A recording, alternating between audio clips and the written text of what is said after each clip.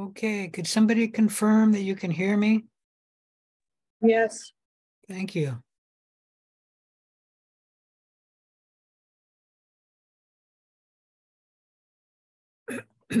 Okay, today is February 2nd, start of a new month.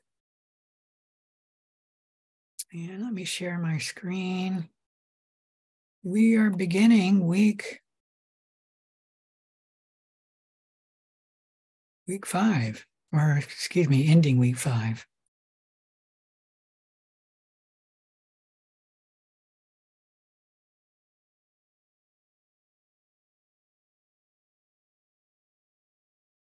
You should be able to see my screen now. Let's get that over there.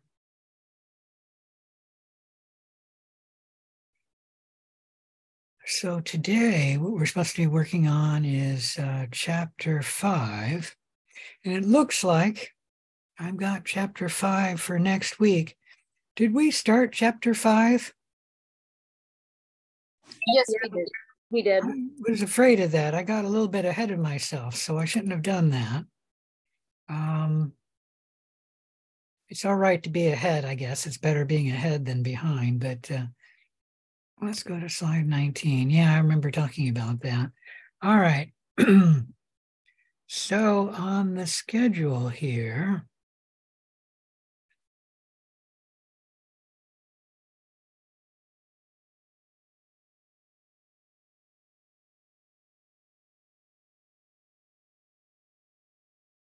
we might finish chapter five, in which case we'll be ahead next week too. We'll see, although chapter six probably will take more than a day. So maybe a little bit of chapter six on there will work. Let's go ahead and do that just to remind me to do that.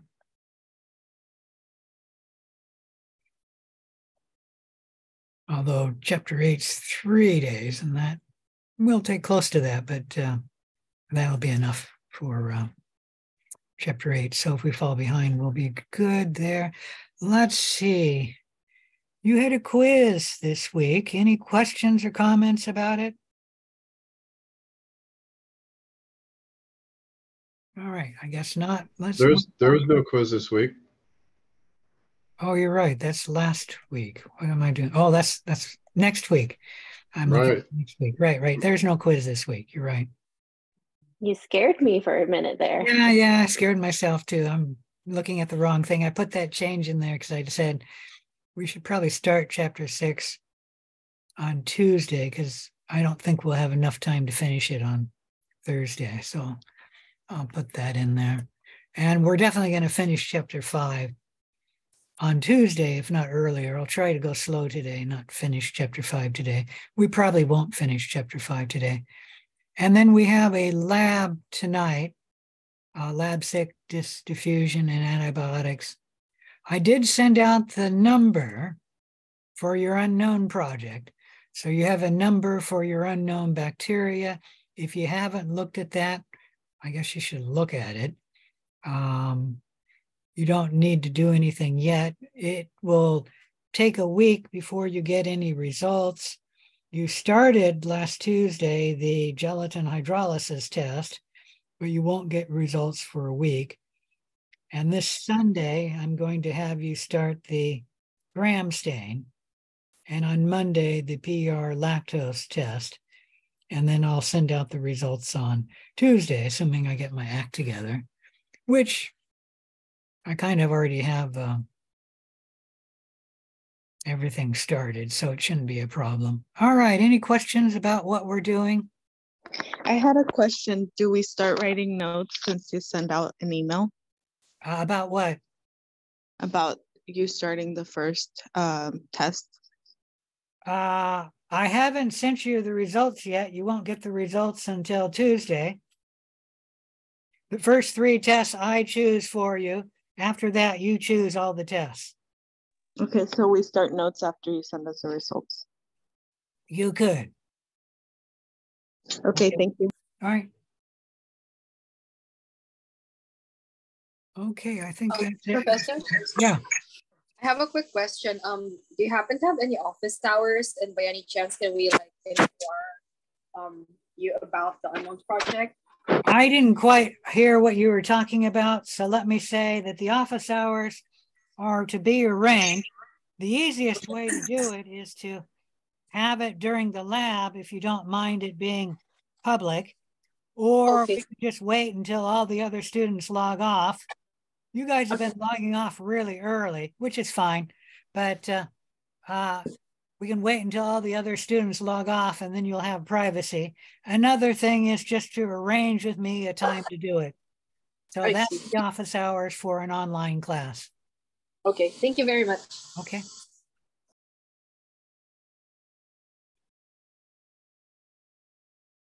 All right, let's erase that and start the lesson.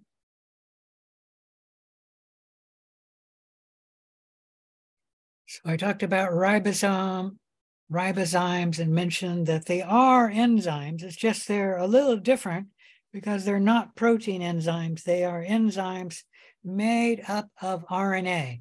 And we'll never discuss RNA enzymes again, except briefly when we're talking about uh, translation.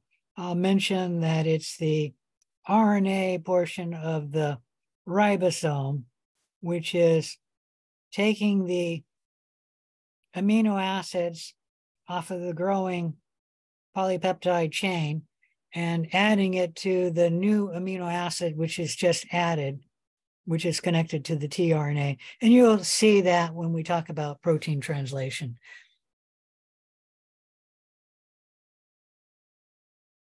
So let's talk a little bit about metabolic diversity.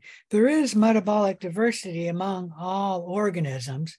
We're only going to talk about microbes, and they have metabolic diversity too. You can divide organisms in where they get their energy source. Excuse me, I'm getting a little closer to the computer. And where they get their carbon source from. And if ever you get a little confused on how you divide organisms, just divide it down to this very basic step. And if they get their energy source, well, let's move on to the next slide. If they get their energy source from light, we call them a phototroph.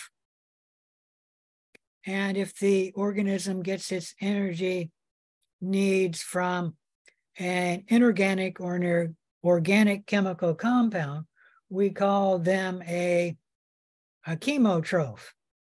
Any questions about that? So all organisms can be divided on where they get their energy source from. We can also divide all, all organisms by where they get their carbon source from. If they get their carbon source from carbon dioxide, either dissolved in the water or in the air, we call them an autotroph. If they get their carbon from an organic carbon source, such as glucose, we call them a heterotroph. You should know, did I say that right? Autotroph and heterotroph? Heterotroph? Uh, if you should know that we people are heterotrophs, we get our carbon from organic chemical molecules, primarily glucose, but any carbohydrate and any food we digest, like protein or lipids, we can get carbon from that. Uh, but our principal carbon source is actually glucose.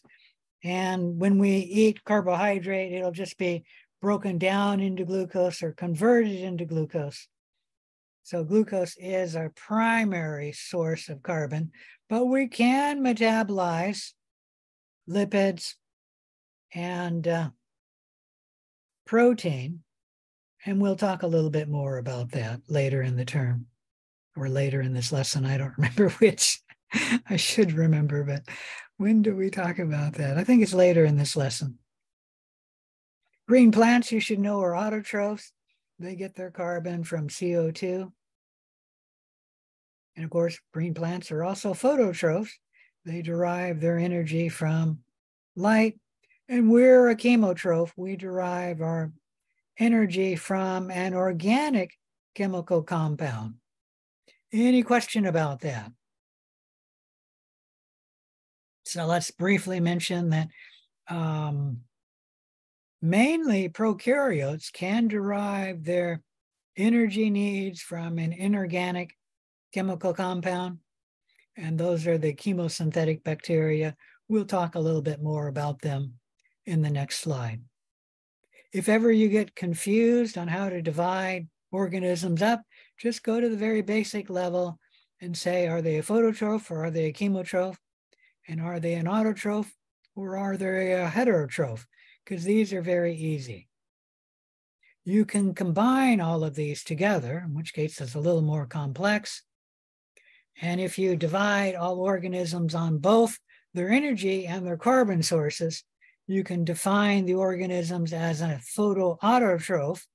These are organisms that get their energy needs from light and their um, carbon from CO2. And I think you guys all know these green plants are photoautotrophs. So are the green bacteria and the algae, the photosynthetic uh, protists. And you probably know chemoheterotrophs. People are chemoheterotrophs. They get their energy needs from an, a uh,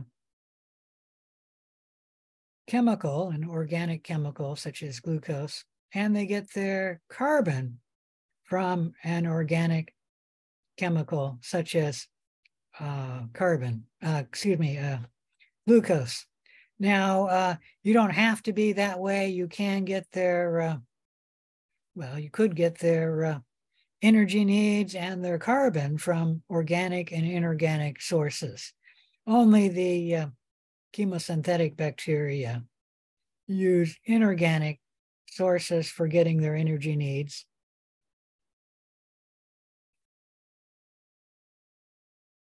Is there a chemo chemoheterotroph? Yes, there's some uh, bacteria which get their uh, carbon. Is that right? I don't think there's any organism that gets their carbon from an inorganic carbon source. The chemoautotrophs and the chemoheterotrophs are a little more difficult to discuss. So let me move to the next slide to talk about them. The photoautotrophs get their energy needs from light, their carbon from carbon dioxide. And you know green plants are photoautotroph, but also the cyanobacteria, the photosynthetic bacteria. You can have the uh, photoautotrophs in two types, those that produce oxygen, and that would be the cyanobacteria, the plants, the algae. There's also anoxygenic photoautotrophs, and they do not produce oxygen. They do produce food from light and carbon dioxide but uh, they uh, do not produce oxygen. And you probably have never heard of these, but the green, purple, the green and purple sulfur bacteria are anoxygenic photoautotrophs. Uh, let's move down to the chemoheterotrophs because this is a little easier to discuss. Um, getting their energy needs from a chemical. It can be an organic chemical such as glucose, but the energy source can be inorganic, an inorganic chemical such as um, nitrite or nitrate or hydrogen sulfide gas or ammonia or um, iron. And it's the chemosynthetic prokaryotes that, that get their energy source from an inorganic chemical.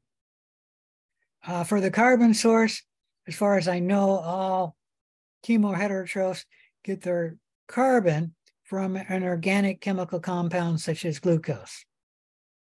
And this includes people and animals, protozoa, the fermentative bacteria, such as E. coli, would be a chemoheterotroph, uh, the protozoa, the fungi, and many bacteria, which I guess would be E. coli. Um, so almost all the bacteria we grow in the lab are chemoheterotrophs. We almost never grow photoautotrophs in the lab. Uh, the chemoautotrophs are organisms, and as far as I know, they're all prokaryotes that get their energy source from a chemical, an inorganic chemical compound like hydrogen sulfide gas, iron, ammonia, nitrates, nit- nitrite. And you'll notice that there are some chemosynthetic bacteria that are chemoautotrophs, another chemosynthetic bacteria that are chemoheterotrophs. What is the difference? The difference is where they get their carbon source. They're a chemoheterotroph if they get their carbon from an organic compound such as glucose, and they are a chemoautotroph if they get their carbon source from CO2. Uh, you're actually familiar with uh, one chemoautotroph, and that is if you lift up the tank in your toilet, not the bowl, but the tank that holds the water, you'll see some brown or ye- yellowish scum on the back of that tank. That is actually iron oxidizing bacteria, and it is a chemoautotroph. It's living off of uh, CO2 and dissolved in the water and an uh, inorganic chemical compound, mostly iron, although there could be other chemosynthetic bacteria in there, but largely iron. Any question about any of that? So you actually are familiar with one chemoautotroph. The photoheterotrophs you probably are not familiar with. They get their energy needs from light. That's why they're called the phototroph. And they get their carbon source from an organic chemical compound such as glucose. Uh, the green and purple non-sulfur bacteria are two examples of a photoheterotroph. And these are different than the green and purple sulfur bacteria that we discussed here. And you don't really need to know these. We won't talk about the green and purple non-sulfur bacteria. All right, any question about any of this?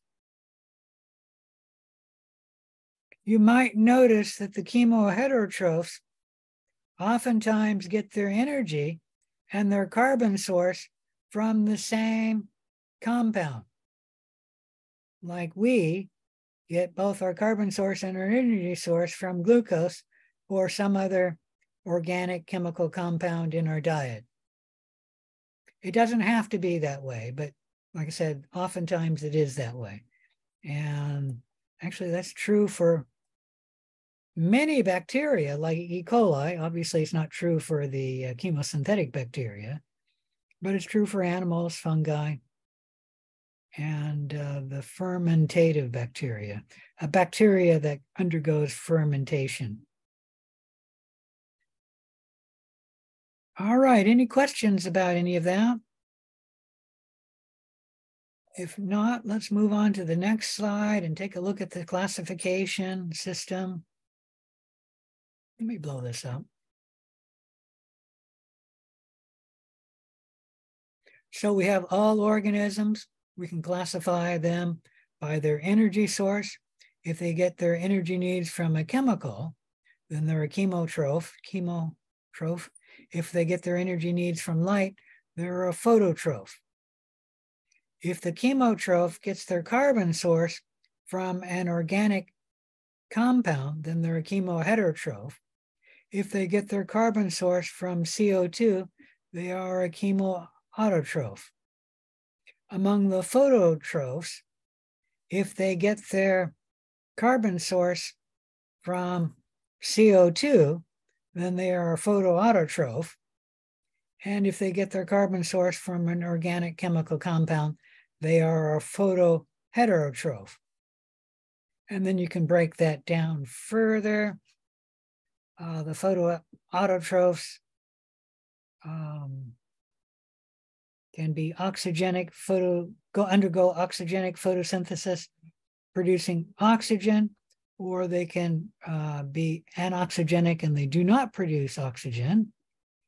We'll talk about that at the end of this lesson. Ah, the photoheterotrophs don't break down. The chemoautotrophs, like I said, they're chemosynthetic bacteria. All of them. Is that right? Making sure that I'm right here. Yeah, these are all chemosynthetic bacteria. And then the chemoheterotrophs, some of them are chemosynthetic bacteria, but uh, some of them, most of them are uh, organisms which are other chemoheterotrophs.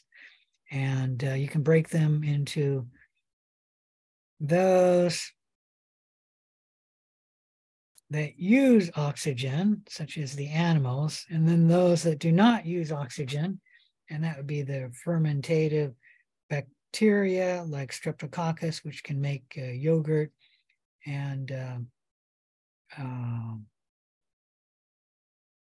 the um, bacteria which do not use oxygen but uh, are not fermentative. They use a uh, anaerobic respiration system to get their energy needs.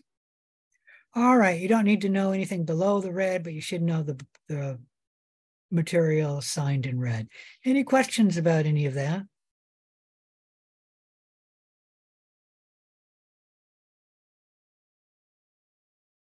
So you notice with energy production that uh, molecules have energy associated with them, and that energy is in the electrons that form the chemical bonds in the molecule. So when we're getting our energy needs from glucose, the energy is from the electrons in the bonds of, uh, of glucose. And that's true for the chemosynthetic bacteria as well. Um, like an H2S, the energy is in the chemical bonds, the electrons that make the chemical bonds linking H2S together.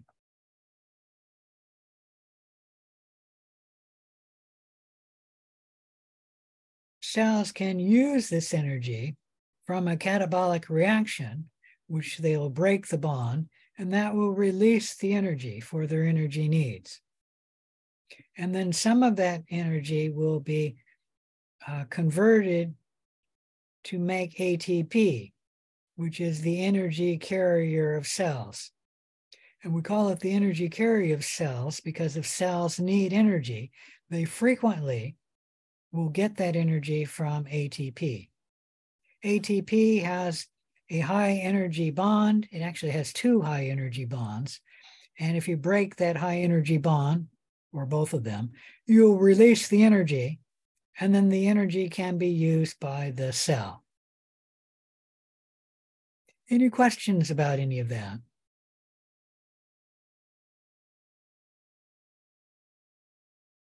All right, so when we are talking about uh, producing energy, you should realize that this all happens, energy production, by oxidation reduction reactions. And oxidation reduction reactions uh, are sometimes called redox reaction, reactions, just to shorten it. So redox means oxidation reduction reactions. Any question about that? Oxidation is the loss of electrons. Reduction is the gain of electrons. So when one molecule becomes oxidized and loses its electron, so molecule A will lose an electron and become oxidized the electron will be gained by another molecule or atom, and it will be reduced, gain the electron. Oxidation reduction reactions are always coupled, meaning one molecule will be oxidized, the other will be reduced. One molecule will lose the electron, the other will gain it. And here's an actual example we have copper plus one plus iron uh, three plus, meaning it has three positive charges on it. I don't know what happened to my arrow there. There should be an arrow there. Can be uh, converted into copper uh, plus two, meaning we've lost an electron, so it gains a charge. And then the iron gains an electron and it's converted to iron plus two. The copper is oxidized, the iron is reduced. Any question about any of that? Well, there's an easy way to remember oxidation reduction. And that is if you remember the mnemonic, uh, Leo the lion goes grr. Leo, lose electrons, oxidation. The lion goes grr, grr, gain electrons, reduction. So Leo the lion goes grr, tells you that losing electrons is oxidation, gaining electrons is reduction. Any question about any of that? All right. In biological systems, whenever oxidation happens, the proton, the H plus ion, is usually removed with the electron. And then the H plus ion travels with the electron. Remember that a hydrogen atom is an H plus ion and an electron. So H plus plus the electron, if they were to come together, would form the hydrogen atom. Any question about any of that? So in biological oxidations are often called dehydrogenations because besides losing the electron, let me blow this up. Besides losing the electron, we also lose the hydrogen ion. And a hydrogen ion is just a proton.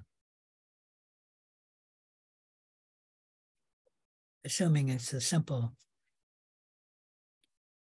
case of hydrogen, there's different, what is it, isomers of hydrogen. We're talking about the simple isomer of hydrogen. So if this organic molecule like glucose loses an electron and a hydrogen, something has to gain the electron and the hydrogen. And in uh, aerobic respiration that we'll talk about shortly, it's actually tends to be NAD plus. And NAD plus is an electron carrier. It will carry this electron from one place in the cell to another.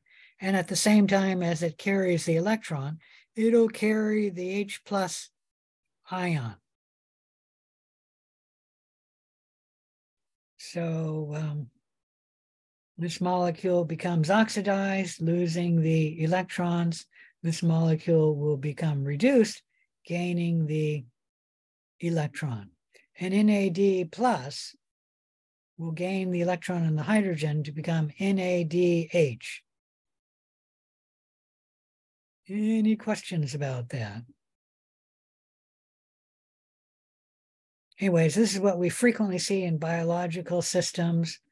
Um, you might not see this in chemistry, but in biology, the hydrogen ion usually follows the electron. So biological redox reactions, meaning oxidation reduction reactions, are used in catabolism to extract energy from nutrient molecules. For our cells, we will catabolize glucose to generate energy.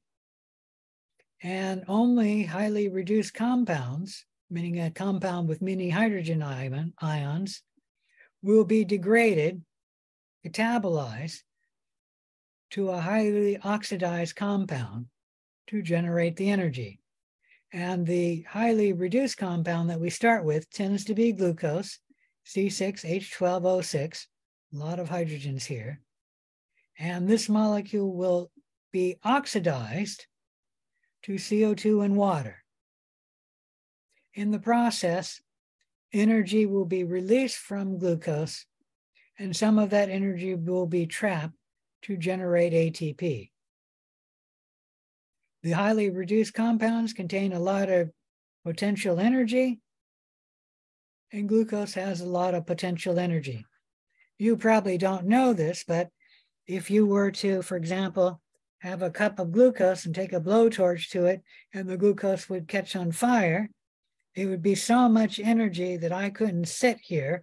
I'd have to go several feet away. And I don't know how far away because I've never actually done that. Another example of the amount of energy you get in glucose, you can actually use glucose for a uh, one of the starting reactants that'll go off in a homemade bomb. So obviously there's a lot of energy in glucose. Any question about any of that? All right, so let's talk about aerobic respiration. This is one way that cells convert energy in the cell, and then they use aerobic respiration to store that energy in ATP.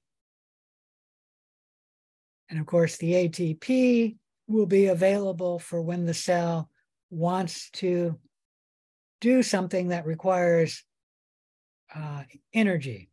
So whenever the cell is doing work, doing something, it'll need have energy needs, and most of the time it'll get that energy needs from ATP. Any question about any of that? All right, so I'm showing you the summary reaction for aerobic respiration. Glucose, shown here, gets together with oxygen gas, O2, and the uh, summary is C6H12O6 glucose plus six oxygen molecules and 38 ADP and 38 inorganic phosphates, that's what the I stands for, inorganic, combine or form six carbon dioxide molecules, six water molecules, and 38 ATP molecules. Any question about any of that?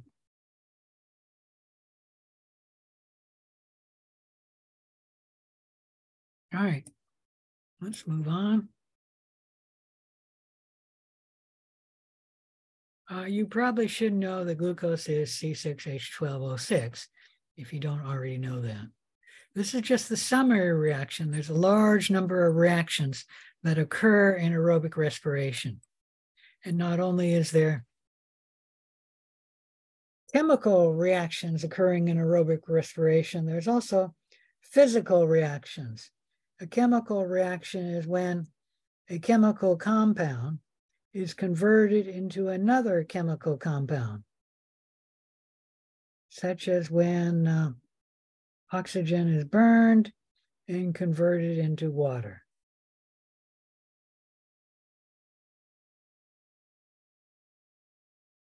All right, so all cells need to generate ATP and then use the ATP for their energy needs.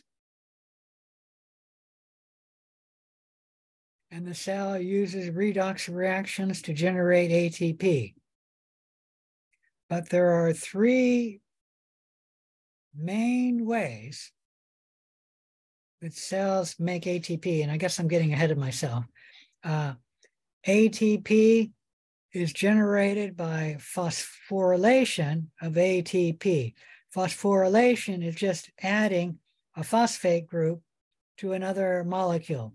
In this case, we're going to add a phosphate group, PO4 to uh, a negative three charge, will be added on to ADP, adenosine diphosphate. And there we see the reaction ADP plus energy plus uh, phosphate produces adenosine uh, triphosphate or ATP. Any questions about any of that? All right. If there's no questions, let's move on. And I need to state that ATP has high energy bonds. There's actually two chemical bonds in ATP, which are high energy bonds. Uh, the third phosphate connected to the second is a high energy bond. And then the second phosphate connected to the first is another high energy bond. And when the cell wants energy, it will break this bond to release the energy. And if the cell wants more energy and there isn't like ATP available, it can break the second phosphate off as well, generating even more energy. Any questions about any of that?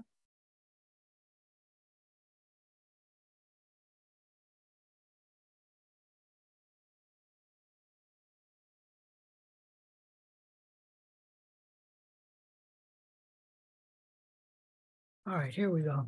Uh, when cells make ATP, there are three mechanisms for making ATP.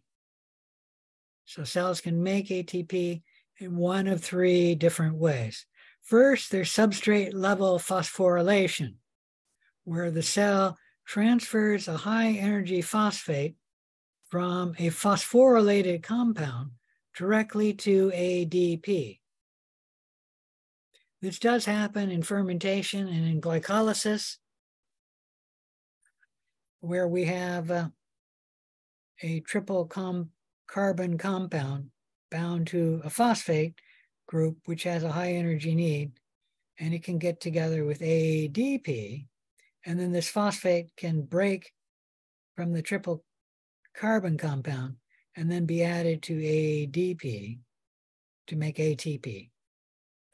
So this is the first way that cells can make ATP. The second way that cells can make ATP is with respiration.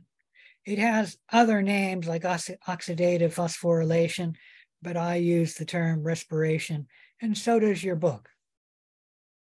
Uh, respiration can be more than one type. Uh, humans can only perform aerobic respiration, and that's the one we'll talk about mostly in this lesson. But some organisms can use anaerobic respiration.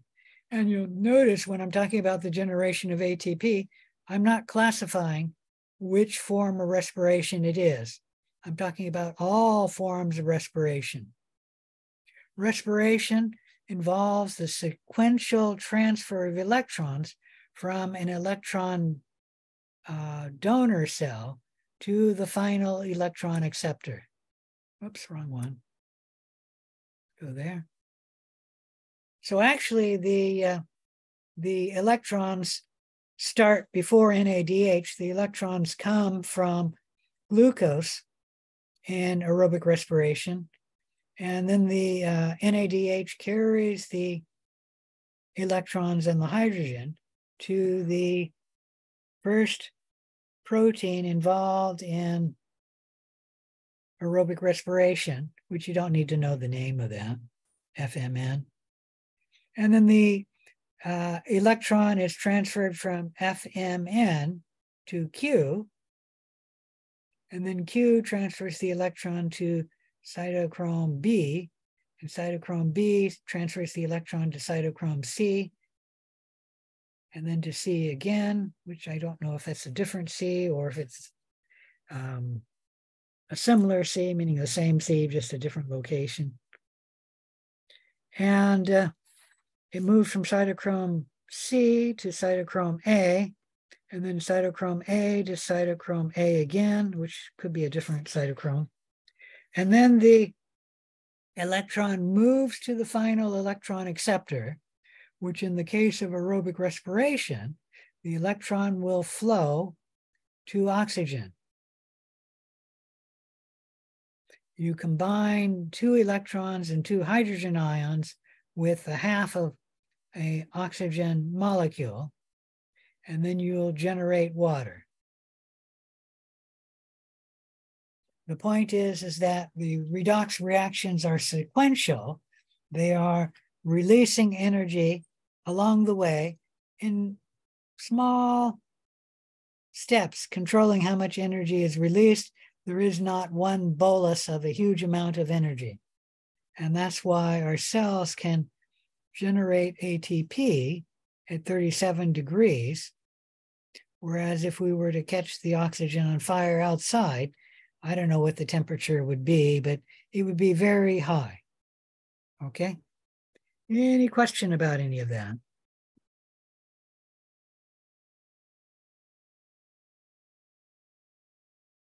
All right.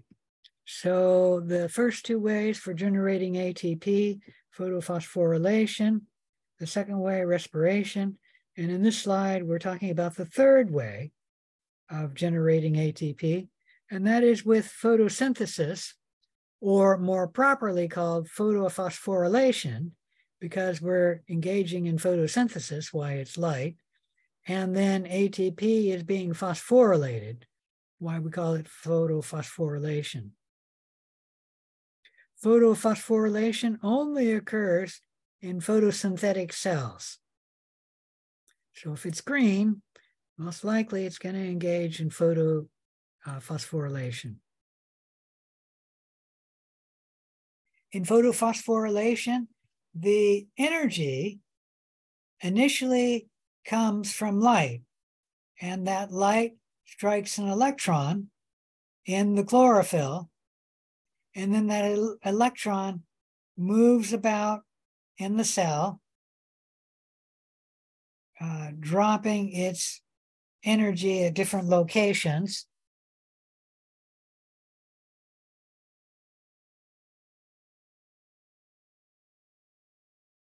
And then some of that energy can be used to generate ATP. In photophosphorylation, we gener- usually generate ATP and NADPH. But ATP and NADPH are often used to make sugar.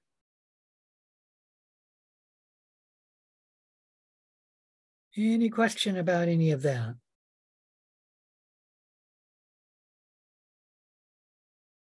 Now here you can see a slide of photosynthesis occurring, the green in the background, the grass, and these very muddy boys. That's why they're so muddy.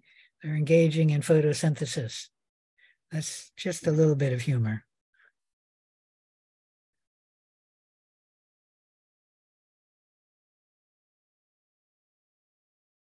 So metabolic pathways result in energy production and energy is released from molecules such as glucose in controlled ways and it's stored by a series of reactions. The energy is not released in a single burst, meaning we use a, a uh, electron transport chain to release the energy from the electrons and then use that energy to make ATP. So the electrons are passed from a donor molecule, such as glucose, to one compound to another through a series of redox reactions. And this slide doesn't show you glucose, where the electrons typically start from in aerobic respiration.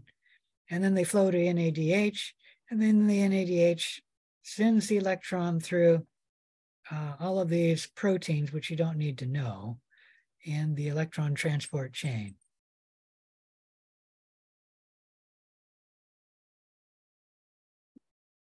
And along the way, as the electrons are moved from one molecule to another, we can start making ATP. All right, any questions about any of that?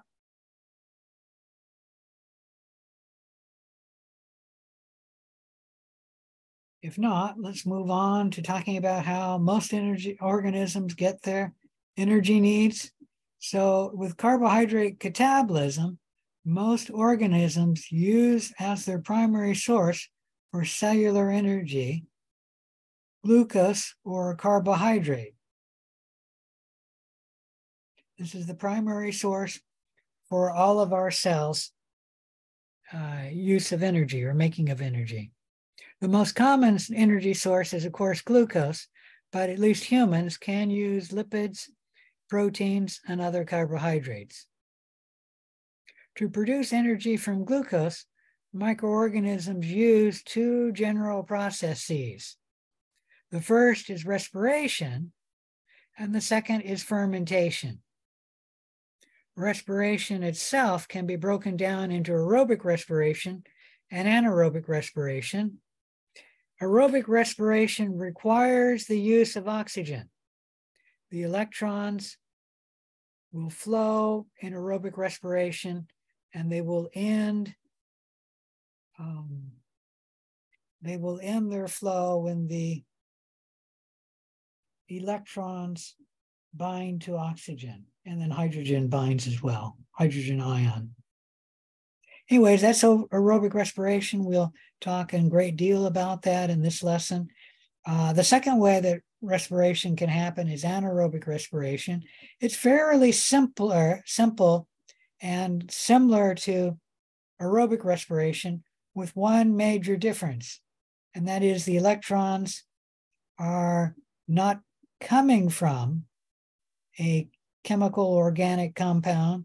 The electrons are coming from um,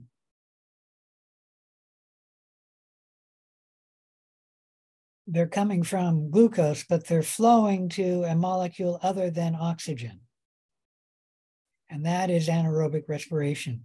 What that molecule is will depend on what form of respiration the cell can engage in.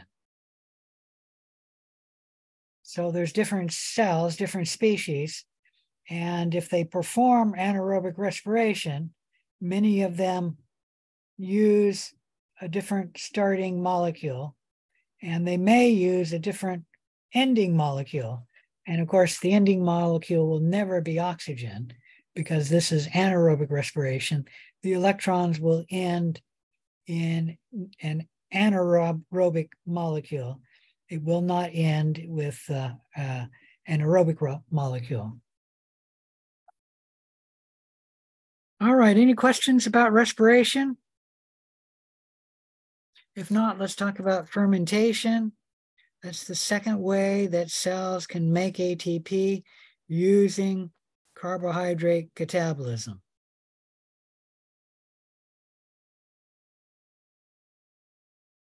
This slide is showing you uh, the principal steps of aerobic respiration and then the principal steps of fermentation. Fermentation is much simpler and really only involves the first couple of items um, in the fermentation process. Aerobic respiration, on the other hand, is not so simple and it uh, starts with glucose it's converted several times, and then in the Krebs cycle, the uh, glucose derivative is changed at each step in the Krebs cycle. And then the electrons are gathered from both uh, um, glycolysis and the Krebs cycle.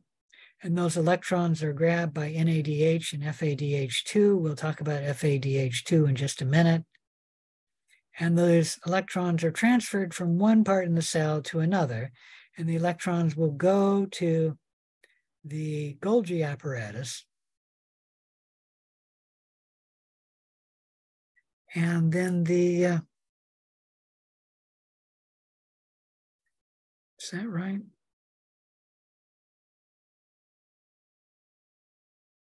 No, the electrons don't go to the Golgi apparatus. They go to the mitochondria, sorry.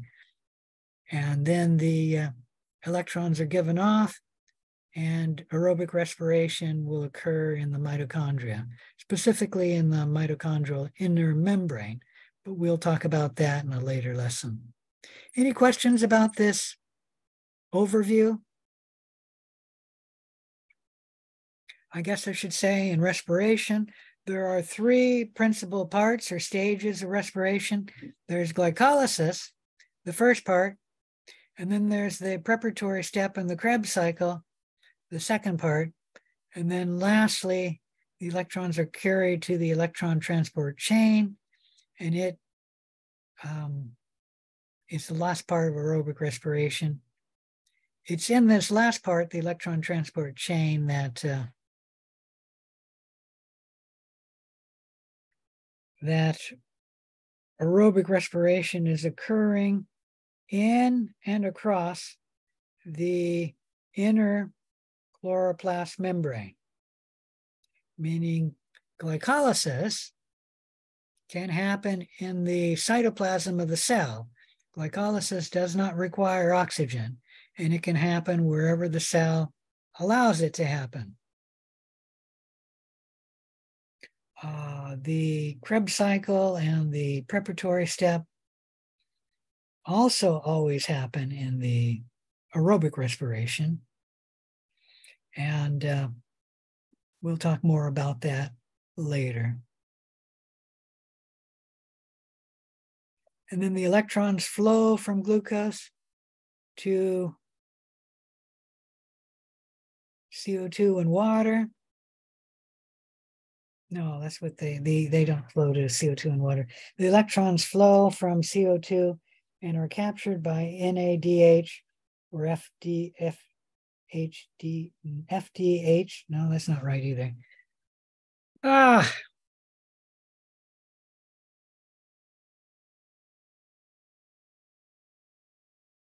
Sorry, I'm having to look this up. FADH2, that's it.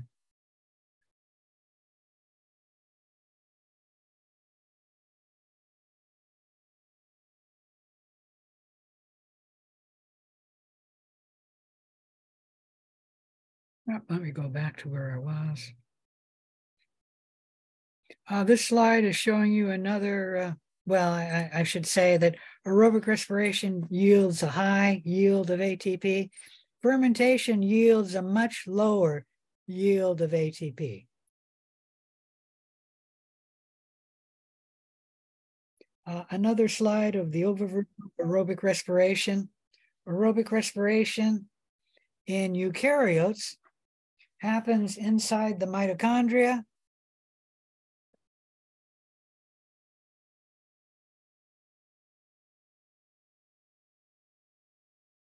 It is true that glycolysis can happen in the cytoplasm, and it does happen in the cytoplasm, but then the uh, uh, pyruvate moves into the mitochondria. Let me blow this up. Pyruvate from glycolysis moves into the mitochondria, and the NADH carries the electrons from glycolysis, as well as the citric acid cycle, meaning the Krebs cycle, carries the electrons and the hydrogen to the electron transport chain, which is the term that I use for it. Uh, there's many terms for that. We'll talk about that in a minute. The pyruvate goes through the citric acid cycle, and that happens inside the mitochondrial membrane. We call this region the matrix of the mitochondria. And that's where the Krebs cycle and the preparatory step occur. That does yield some ATP. And then uh, the derivatives of the Krebs cycle go to oxidative phosphorylation, or I told you I don't use that term, electron transport chain. And then the cell will, will use that electron for its own energy needs. Any questions about any of that? All right.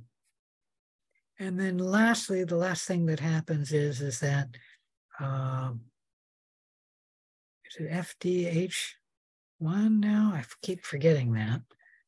Um,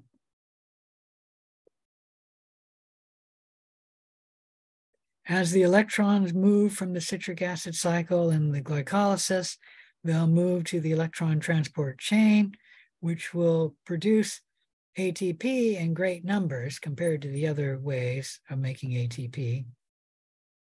And uh, uh, this requires oxygen. Actually, this one requires oxygen. Is that right? Oxygen, no, it requires oxygen when the um, when the electrons flow to oxygen. That's the last time oxygen is needed. All right, any questions about the overview? Uh, like I said, this is only where uh, aerobic respiration happens in a eukaryote. In prokaryotes, they don't have a nuclear membrane, So they use instead the cell membrane. And I'll talk a little bit about that when I talk about mitochondria.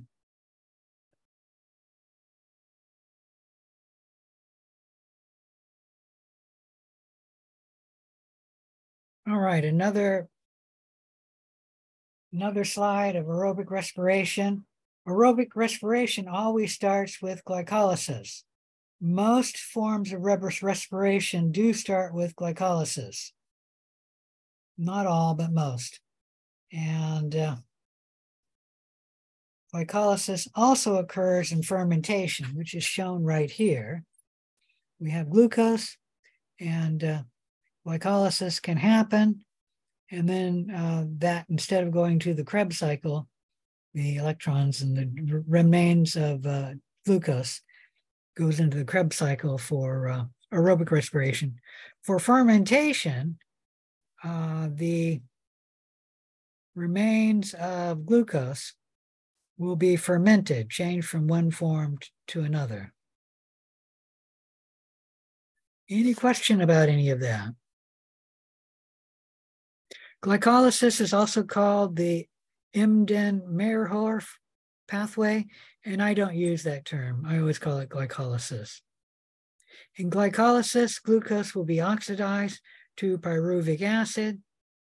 The pyruvic acid will be fermented or worked upon by a T cell. And I only recently just got that T cell in my game. Uh, let's see, what, what do we do here?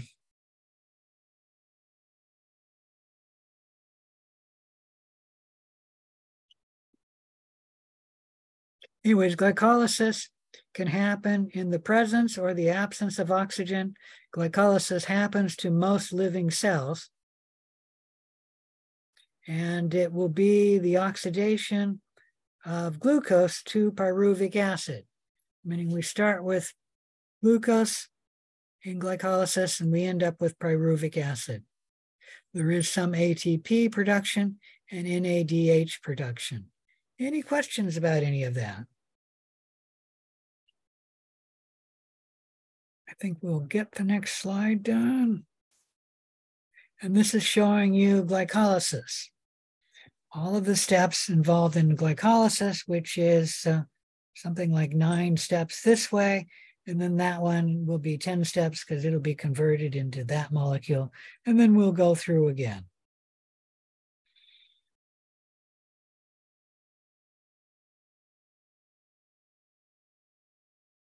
uh, I don't want to talk really about the preparatory step stage, but I will state that uh, glycolysis requires the addition of ATP right here and right there.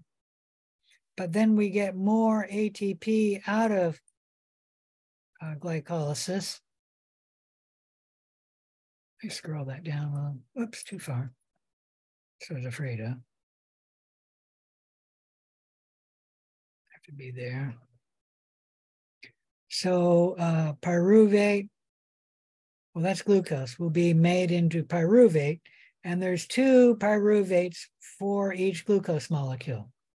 Each of these molecules will be sent down the pathway of aerobic respiration. You should note, oops, didn't mean to do that. Not doing too well here. No, but it's more than one, it looks like.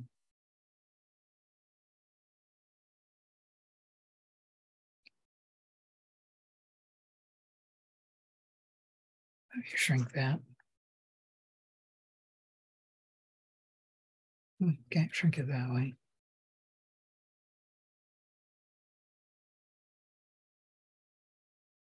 So glucose is a six carbon molecule. It's broken into two pyruvates, each of which have three molecules.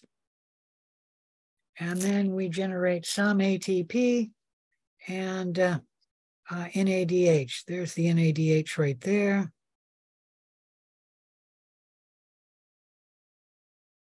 Here's a summary reaction of glycolysis. It uh, happens when glucose gets together with 2 ATP, meaning you do need energy to get glycolysis to go, and the cell gets that from ATP. But we also will make ATP. So we need to add in 4ADP. And for inorganic phosphate, you do need NAD plus to deliver the electrons. And then that can be changed to pyruvic acid, ATP, and then NADH. NADH is the important one here. So glucose will be converted into pyruvate, and then NADH will be made. The net gain from glycolysis is you net 2 ATP, and yes, you put in 4. No, yes, you generate 4, but you put in 2. And that's why we say the net gain from glycolysis is 2. It does convert glucose into two pyruvates, and pyruvate and pyruvic acid are slightly different. Uh, the pyruvate is missing the H plus ion.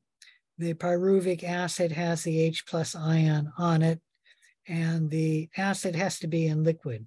So either wa water or uh, uh, light staining. All right, any questions about any of that? Let me check my time here. I think the lab goes to 6.30. Yeah, let's keep moving.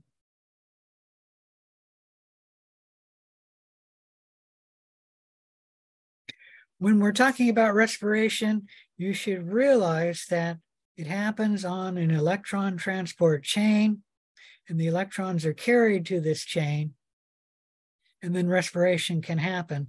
There's two types of respiration. There's aerobic respiration, where the electrons end up at oxygen. So we say the final electron acceptor in aerobic respiration is oxygen. This differs from anaerobic respiration, which is similar. We have the oxidation of mo molecules released, uh, like glucose, and then we collect the electrons and the hydrogen, which are shuttled by NADH and FADH2. But there's a big difference, and that is anaerobes do not generate any oxygen.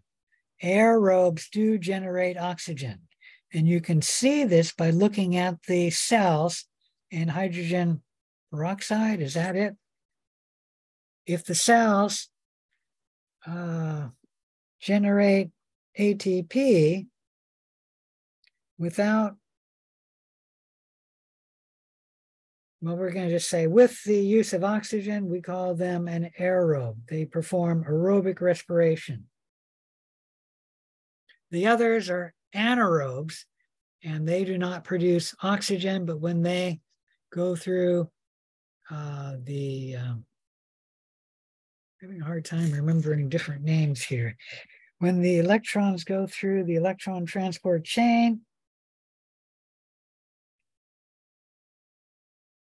uh, these electrons do not flow to oxygen, they flow to some other final electron acceptor.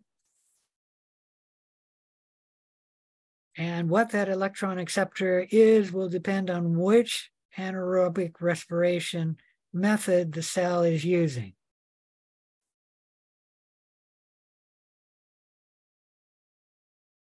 Any question about any of that?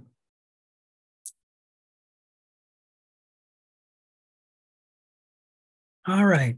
So out of glycolysis, we have pyruvic acid pyruvic acid cannot directly join the Krebs cycle, the next part of aerobic respiration.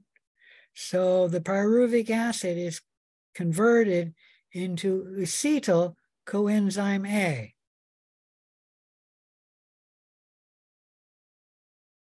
Coenzyme A is a uh, protein in the electron transport chain. No, coenzyme A is not, sorry. A coenzyme A is just a, a molecule which combines to form acetyl coenzyme A. Acetyl coenzyme A is a two carbon molecule.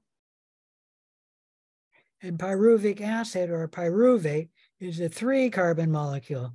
So one carbon that was derived from glucose is burnt off and converted to CO2 in the preparatory step. Remember, glucose is C6H12O6. And if glucose is converted to pyruvic acid, and then the pyruvic acid is converted into acetyl coenzyme A, we uh, start using the um,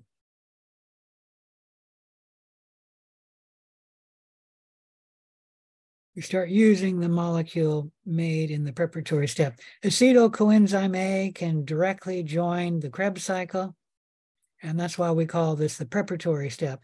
It is really one step, unless it's a complicated preparatory step. Most of them are one step, converting the pyruvic acid into acetyl coenzyme A. Here's a question for you. How many times does the preparatory step run for each molecule of glucose?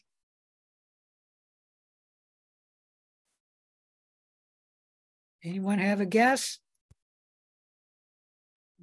Is it two? Yes, it's two. I was looking to make sure someone was there because everybody's so quiet. Uh, glucose is made into two pyruvics or two pyruvic acids or two pyruvates in uh, glycolysis. So the preparatory step will run twice for each molecule of glucose. And the preparatory step does generate one NADH, and we'll talk about that in just a little bit. Well, actually, we'll probably talk about it in the next lesson.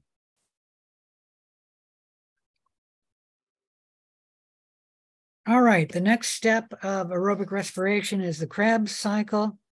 And uh, this has different names. I call it the Krebs cycle. Your textbook calls it the Krebs cycle after Dr. Krebs, who discovered it.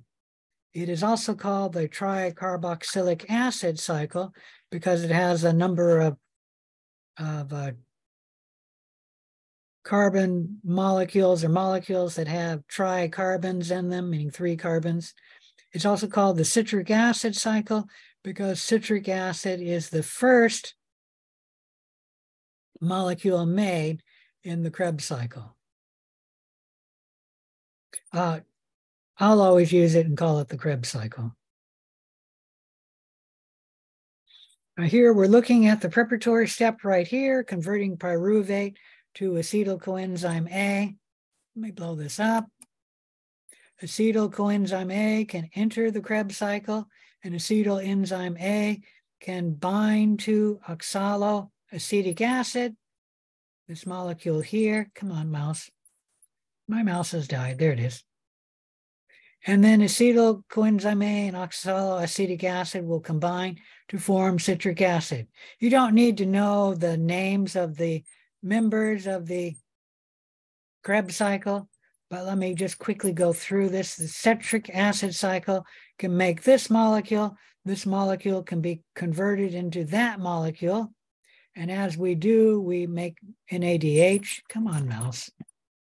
Sorry, my mouse keeps dying. NADH here and CO2. This molecule can be converted to this molecule, which we make NADH and CO2 again uh, this molecule can be made to that molecule, and this one can make ATP. And then this molecule can be converted into that molecule. We'll make FADH2 here. And then this molecule can be converted into that molecule. This molecule can be converted into oxaloacetic acid. And in the process, we make NADH again.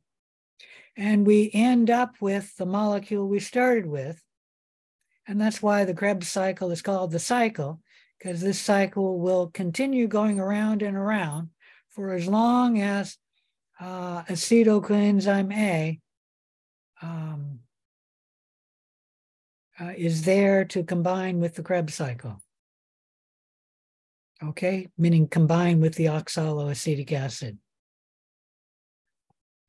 So we use acetyl coenzyme A in the Krebs cycle, and we produce one ATP per cycle of the Krebs, meaning per Krebs cycle. The ATP is produced down here. We produce four NADH, and that's including the one NADH in the preparatory step. So there's one, there's two, there's three, there's four. We also produce one FADH2 molecule right here. And these two are important because they carry the electrons from the Krebs cycle to the electron transport chain, the next uh, part of aerobic respiration. And then we make three CO2 molecules. One here in the preparatory step, one here, and one here. Now remember that glucose makes two pyruvic acids, and then two pyruvic acids will be converted into two acetyl coenzyme A's. So the Krebs cycle can run twice for each molecule of glucose. So that's something you need to remember. So you need to know what's in red, but you should also know that this can run twice per molecule of glucose, in which case you double these numbers. Uh, NADH and FADH2 important. There's a lot of them made in this step, and these will carry electrons from glycolysis and the preparatory step in the Krebs cycle to the electron transport chain.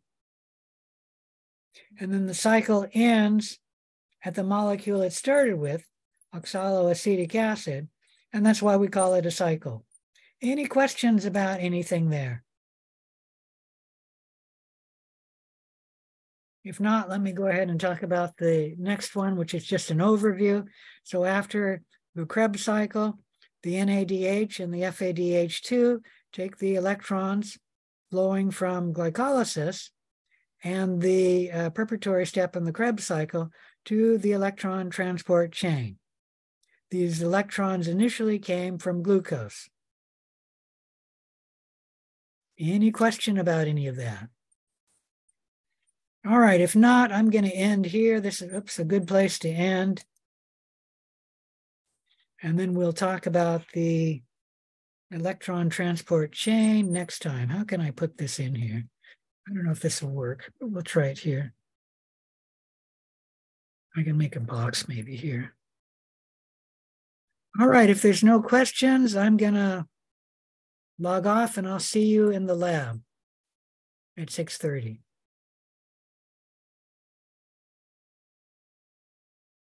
Uh, I can't get that.